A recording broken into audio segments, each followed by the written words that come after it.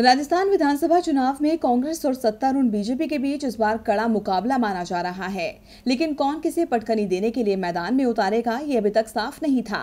मगर काफ़ी मंथन के बाद अब बीजेपी ने अपने पत्ते खोल दिए हैं। पार्टी ने 200 सीटों में से 131 उम्मीदवारों की सूची जारी की है, जिसमें कुछ पुराने नेताओं पर दाव लगाया है तो कुछ नए नेताओं को भी पार्टी ने किस्मत आजमाने का मौका दिया है। इसके साथ ही टिकट बंटवारे में परिवारवाद की झलक भी नज़र आई है। राजस्थान बीजेपी में टिकट बंटवारे को लेकर पिछले काफ़ी दिनों से माथा पच्ची चल रही थी। जहाँ सीएम वसुंधरा राजे अपने करीबियों को टिकट दिलवाने की चाह में थी तो वहीं अमित शाह अपनी चला रहे थे।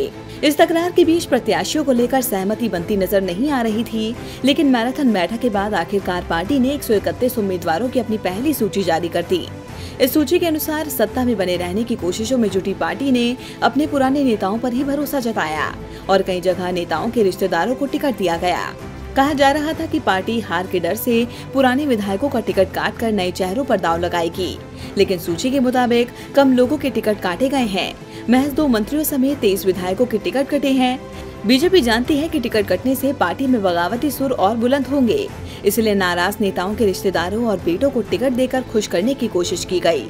131 उम्मीदवारों में से करीब 20 नेताओं के बेटे और रिश्तेदारों को जगह दी गई है। इनमें सादुल शहर से बीजेपी के विधायक गुरजंट सिंह के पोते, गुरबीर सिंह बराड़ को टिकट दिया गया है। डी कुम्हेर से दिगंबर सिंह के बेटे शैलेश सिंह को, नसीराबाद से सावरलाल जाट के बेटे राम स्वरूप लामा को टिकट सौंपा गया है।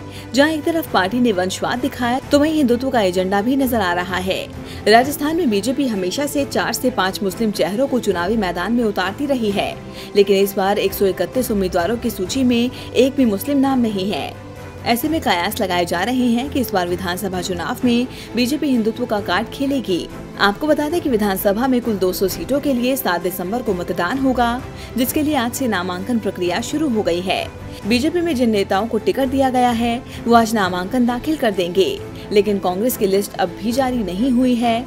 ऐसे में अब देखना होगा कि कांग्रेस की लिस्ट में कौन सी झलक दिखाई देती है। डीबी लाइव की रिपोर्ट।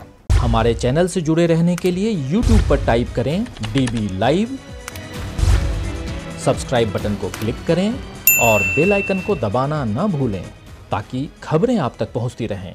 देखते रहिए डीबी लाइव क्योंकि यहाँ हैं खबरें लगातार।